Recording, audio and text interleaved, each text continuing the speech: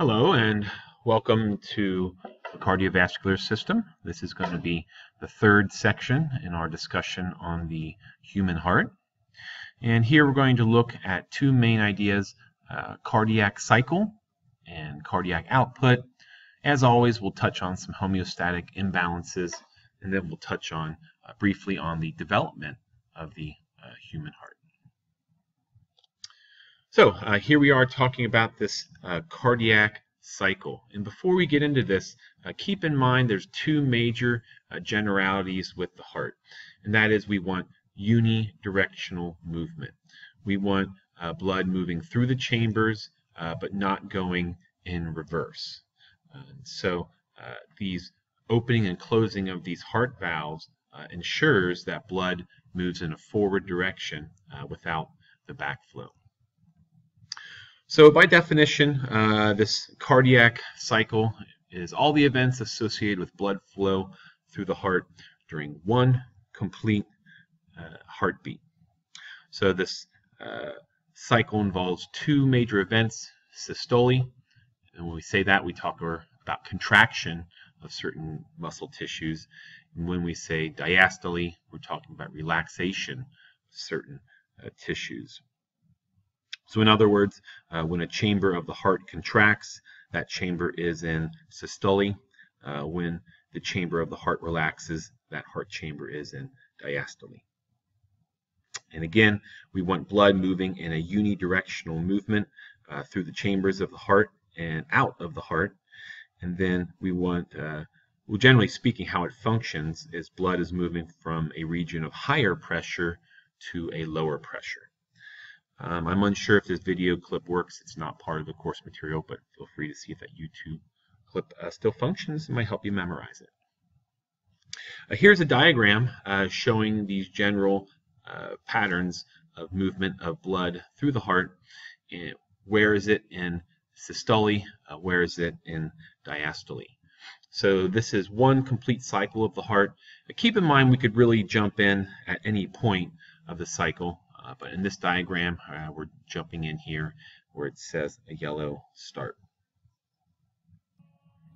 We're going to go in depth into each and every one of these phases of the cardiac cycle.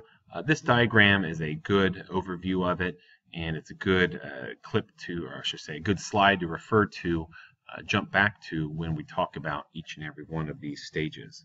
Uh, so in general, the general notion of this cardiac cycle is that a chamber that is in systole is going to push blood into a chamber that is in diastole, or that chamber might be pushing into a great arterial vessel, such as pulmonary trunk or maybe, maybe aorta. The majority of atrial emptying uh, does not involve systole, uh, but all of ventricular emptying involves a power, powerful systolic activity. And then again, in generally, generally speaking through this diagram, uh, the opening and closing of the valves involves pressure differentials across the valves. Again, remember that blood moves unidirectionally. Uh, therefore, when the pressure of the blood in a chamber exceeds the pressure in the next chamber, a valve opens and the blood comes rushing through. And then when the opposite occurs, then the valve closes. So when the pressure in the atria exceeds the pressure in the ventricles, the atrioventricle valves open, and when the, when the pressure in the ventricles exceeds the pressure in the atria, the atrioventricular valves close. So for example, in the lower right-hand corner, here we see the closing of those AV valves. Let's now look at a different step. When the right ventricular pressure exceeds the pressure in the pulmonary trunk, that pulmonary valve is then going to open and when the pressure in the pulmonary trunk exceeds the pressure in the right ventricle, the pulmonic valve closes. So let's go in depth into each and every one of these stages of the cycle.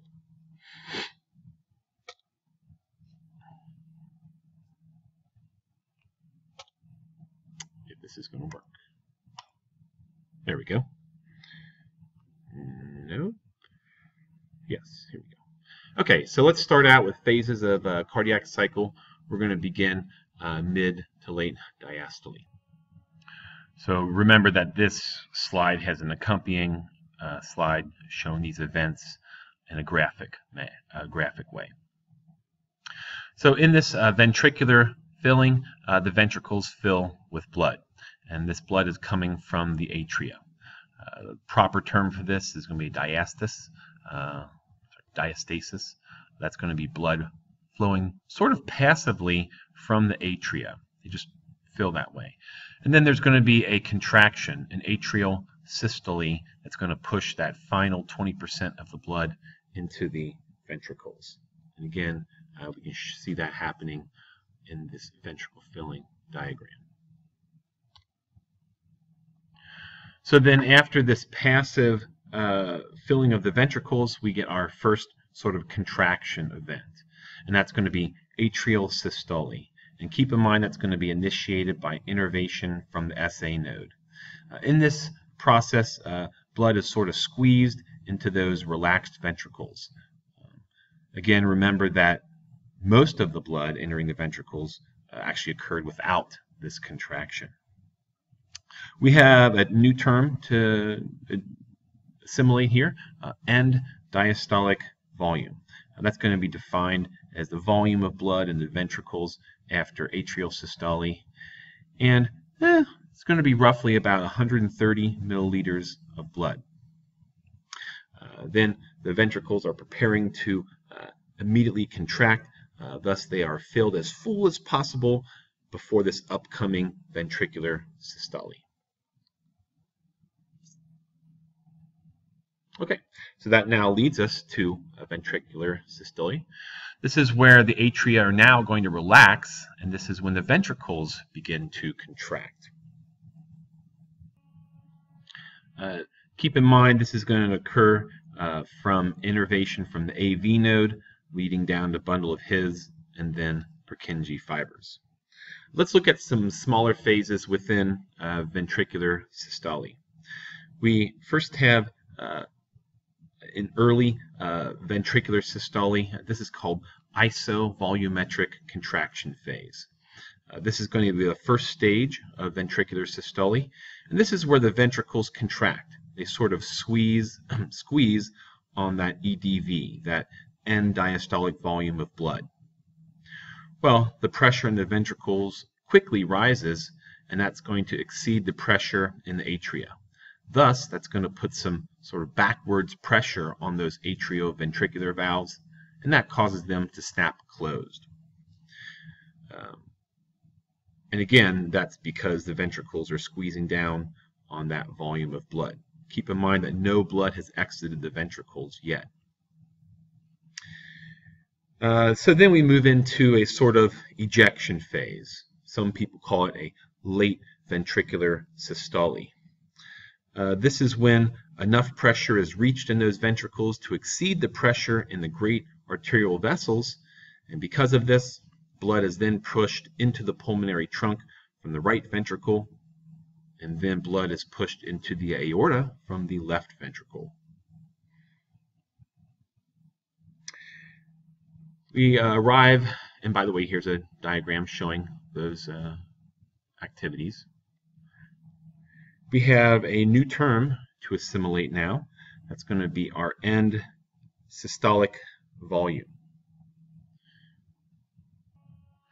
And that's going to be the volume of blood remaining in each ventricle.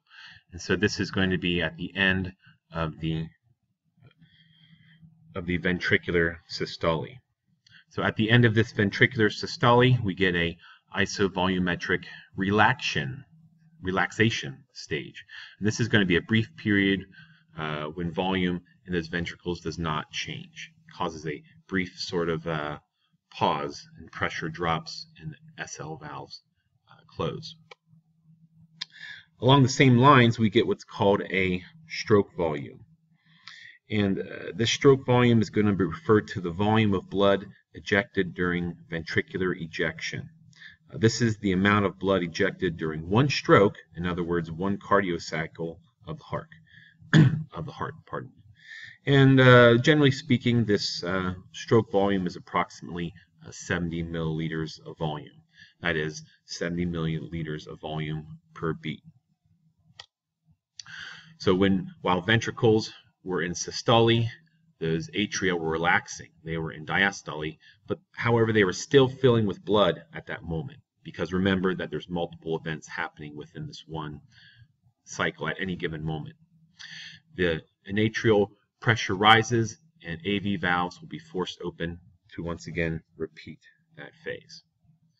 And again, here is showing that uh, final phase, the isovolumetric relaxation. So on this last slide, uh, we put all those phases together and kind of stitch them together, and we see a sort of summary of this cardiac.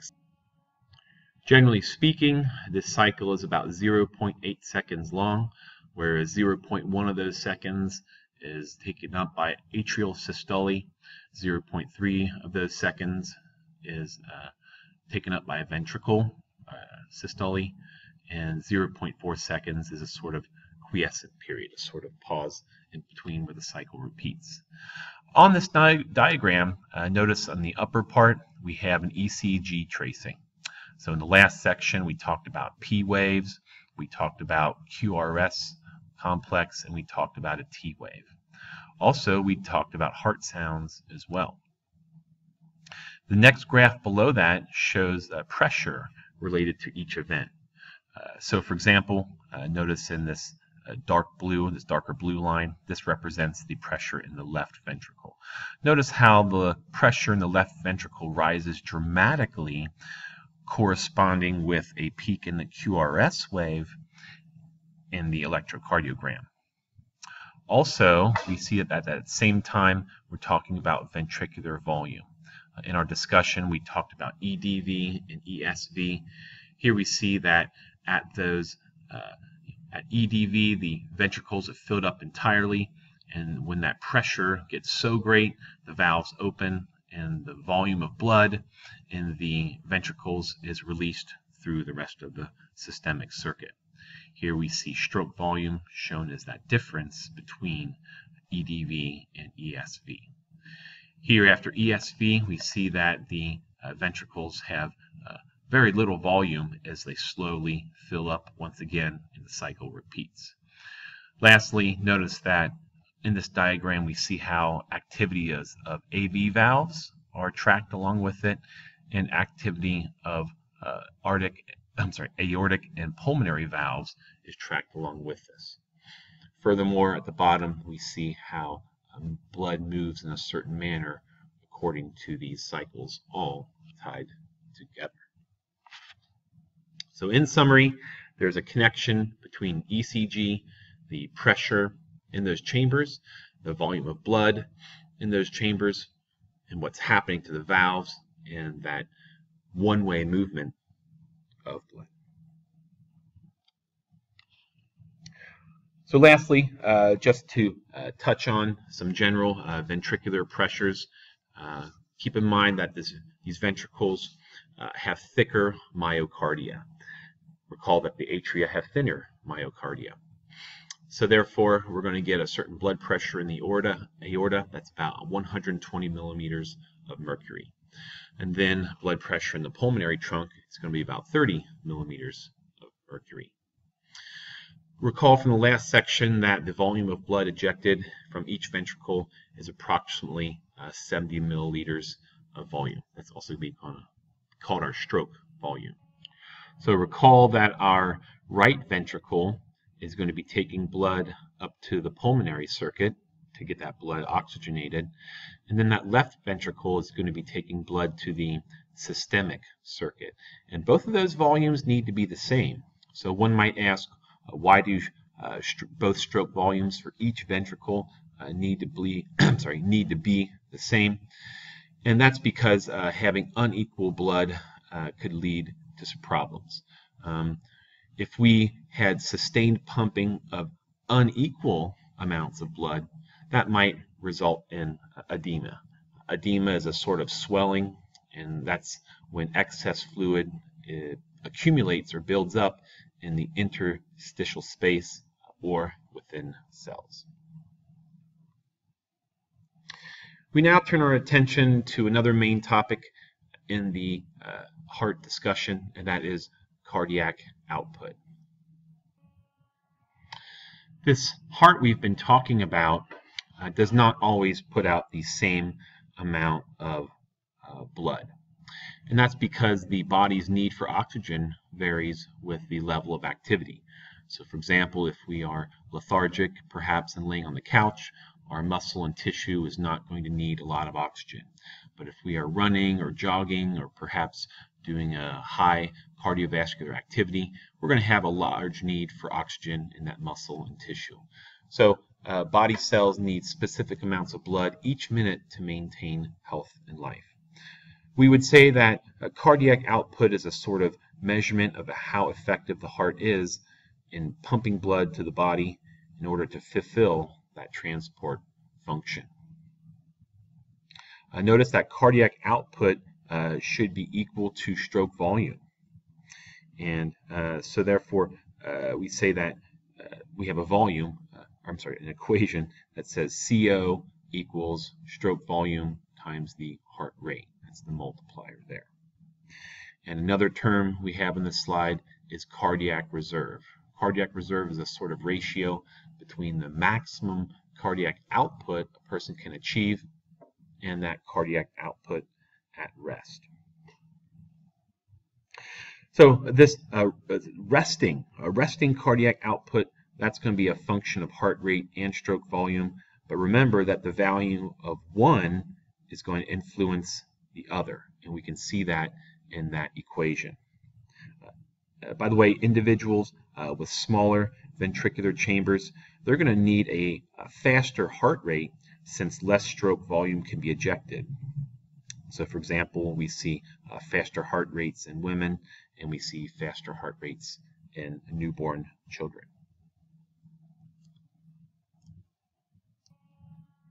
As we mentioned earlier, we can uh, do some mathematics with uh, cardiac output. So again, in this slide, uh, we show that equation.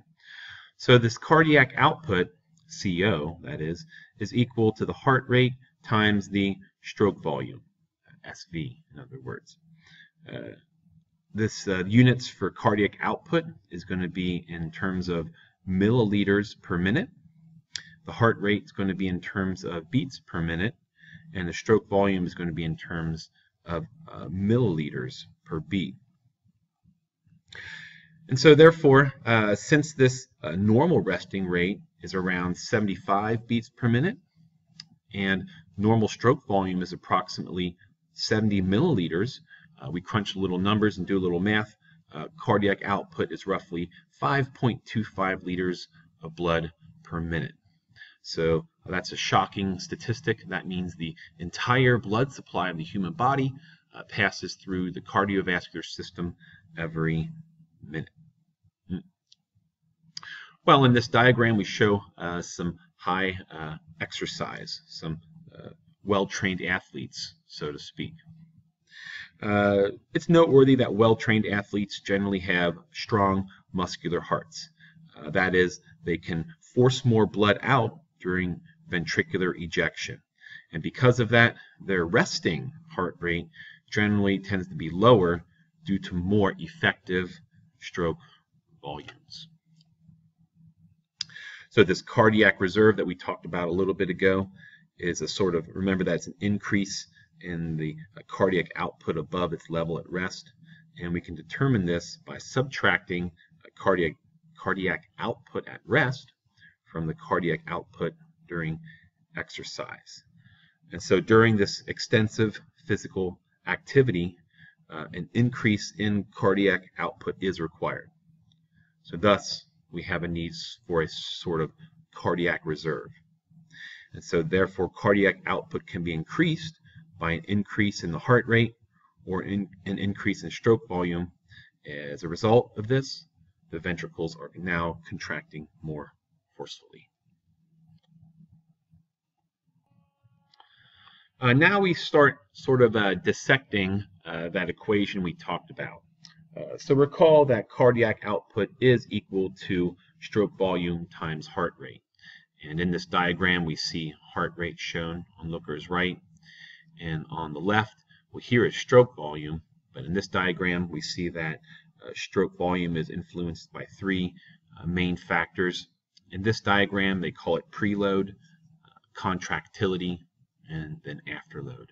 I think our McKinley textbook is calling preload a quote-unquote venous return, uh, contractility, that's influenced by inotropic agents, uh, chemicals in other words. So we're going to go in depth then now and look at these. We're going to look at some uh, variables that influence uh, this heart rate. This preload can be thought of as a sort of effect of the stretching. In other words, uh, there's a certain amount of pressure placed on the walls of the heart. So when the ventricles fill up with blood, that causes the walls of the ventricles to stretch. Uh, this tension is then placed on those ventricle walls. That's what we're talking about when we say preload. So the preload, and, and by the way, in other words, more, uh, more muscle that gets stretched, the greater the force of contraction, the greater the amount of tension there is. And if we have uh, more blood, then we get more force of contraction. So this preload on the heart is one factor that determines the force of ventricular contraction. And this, this is sort of explained by this event called the Frank-Starling uh, law of the heart. And that states that uh, the greater the preload of the heart, that is the amount of ventricular stretch, the stronger the cardiac muscles will contract to eject the blood. And we see that in the diagram on the right. Uh, on the x-axis, we see a sort of a fiber length of the myocardia. And on the y-axis, we see ventricular pressure.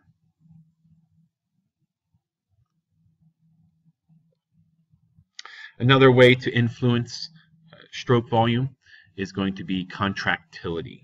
In other words, uh, inotropic agents. So let's start off with a definition for what we mean by contractility. So contractility is referring to the contractile strength at any given muscle length. So contractile meaning the contraction. So these things called inotropic agents are going to be external factors that can alter this contractility of the heart. And so we see here that we're talking about things like autonomic nerves, things like hormones, can be an external agent that affect the stroke volume.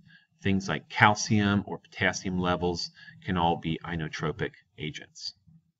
Uh, positive inotropic agents increase contractility, and then negative inotropic agents decrease contractivity. Uh, so for example, the availability of calcium in the cardiac muscle cell sarcoplasm is the main factor associated with inotropic action. And so other uh, inotropic agents include things like epinephrine or norepinephrine. Uh, those are examples of positive inotropic agents. And things like negative inotropic agents, again, these things are going to decrease cardiac contractility, are things like elevated potassium levels, and that's whereas the calcium channels get blocked. And certain medications can do certain things like this. And then a third influence on stroke volume is going to be what's termed afterload. We might define afterload as the resistance in the great arteries. That's a, a sort of resistance to the ejection of blood from the ventricles. And uh, so in order for this ventricle chamber to eject the blood out of there, uh, and again, this is coming out of the left ventricle into the greater vesicle, uh, vessels, this afterload must be overcome, so to speak. Uh, and by the way, high blood pressure, a homeostatic imbalance, is going to reduce stroke volume. Hypertension, in other words. Hypertension can increase afterload on the heart.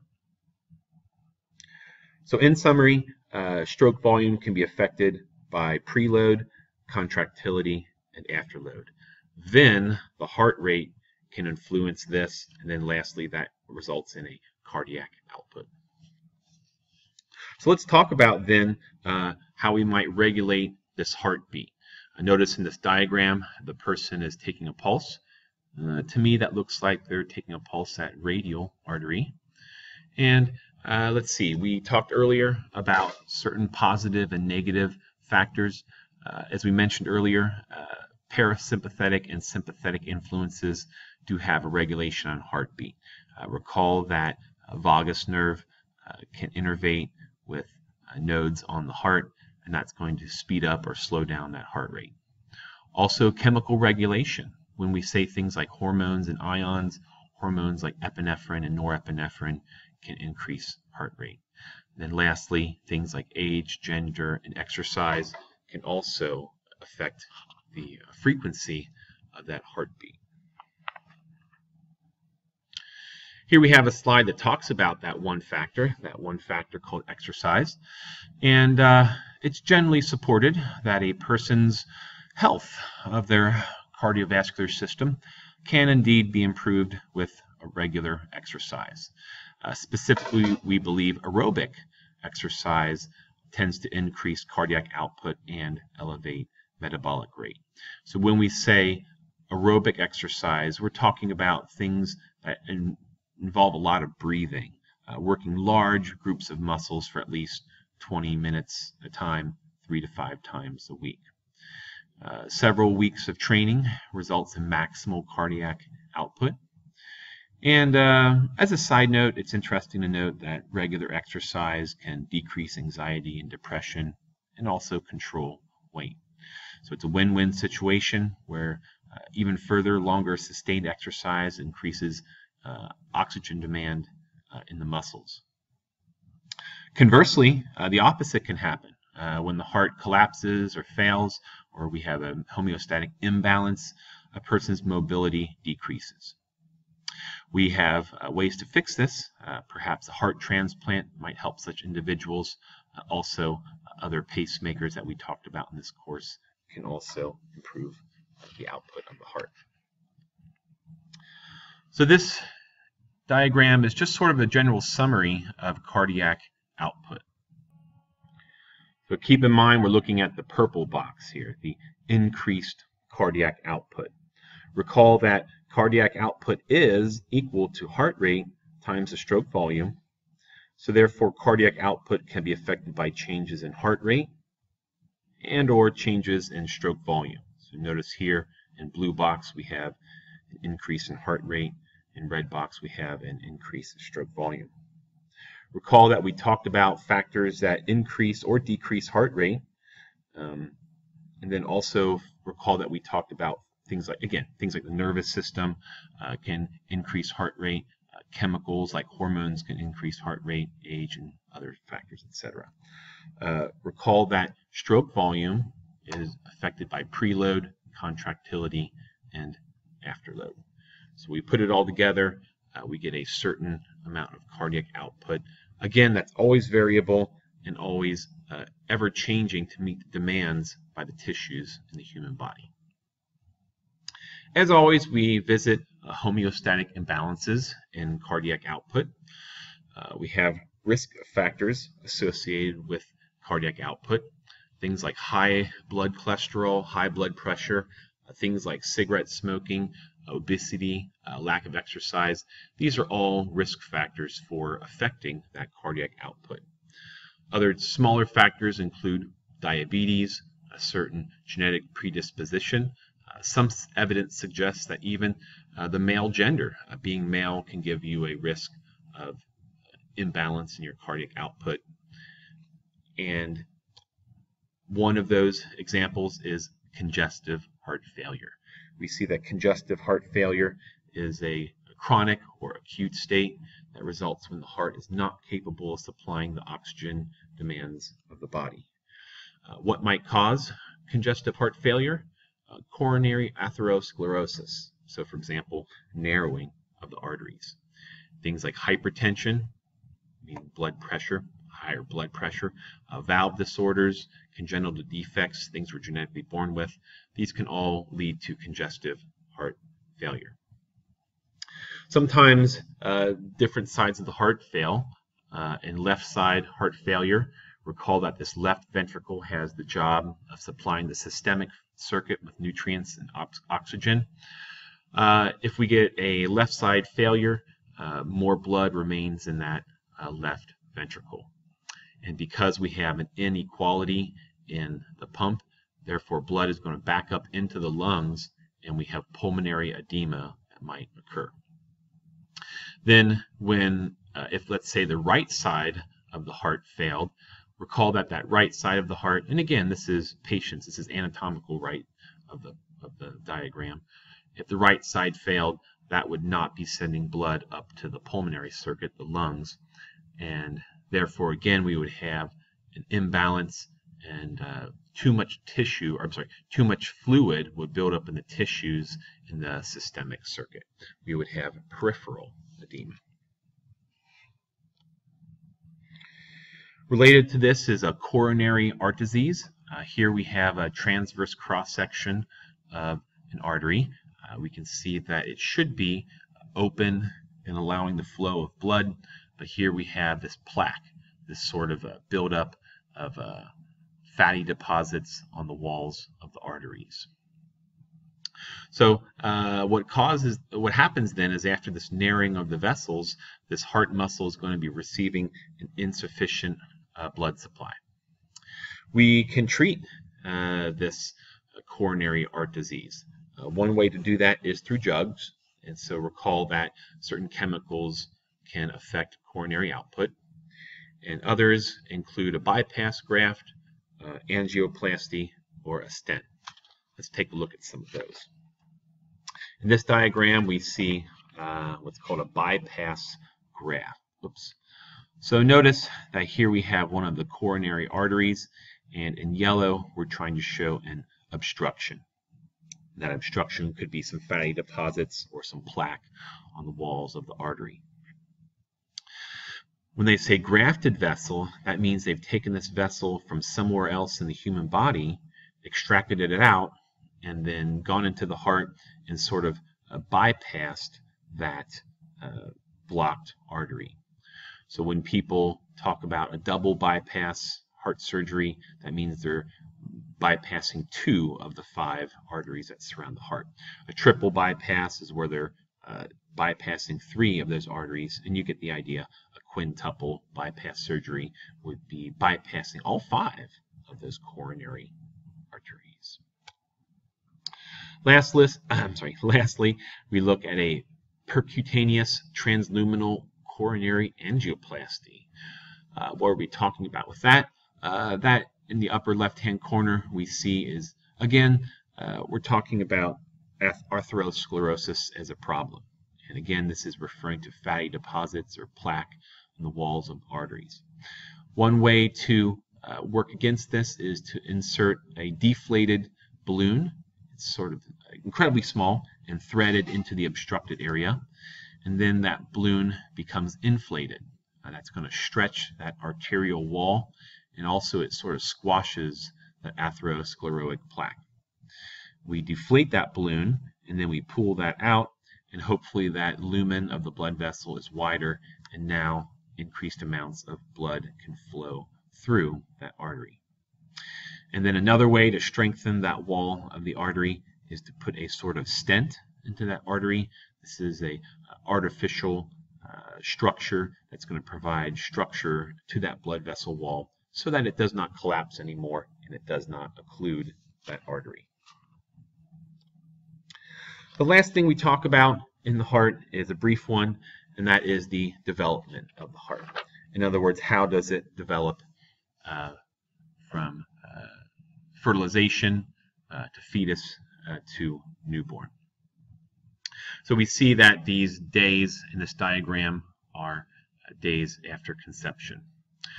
Uh, this heart develops from stuff called mesoderm before the end of the third week of gestation. And then we're going to get these things called endothelial tubes then evolve into a four-chambered heart, generally speaking. So what's happening then is in this first diagram, the uh, looker's left, is going to be the fusion of two heart tubes merging. And then this tube is going to sort of bend and it's going to fold upon itself and it's going to form uh, the general external heart shape. Then as the days go on, uh, we have expansions begin to form in that tube. We have the forming of four postnatal heart structures. And then as time moves on, we have this structure called the bulbus cordis. This bulbus cordis is going to subdivide and start forming part of the right ventricle. And then uh, a structure called the conus cordis is then going to start forming our uh, left ventricle. And uh, then a structure called the truncus arteriosus is going to form an ascending aorta and a pulmonary trunk. Uh, then we get a sort of partitioning into four chambers. And then lastly, uh, the great vessels form. And we call we recall earlier that uh, we also have a bypass circuit installed in this uh, heart as well. Uh, the foramen ovale allows blood to bypass the lungs in fetal life, and because remember the fetus then obtains its oxygen from the umbilical store. I'm, I'm sorry, the umbilical cord instead.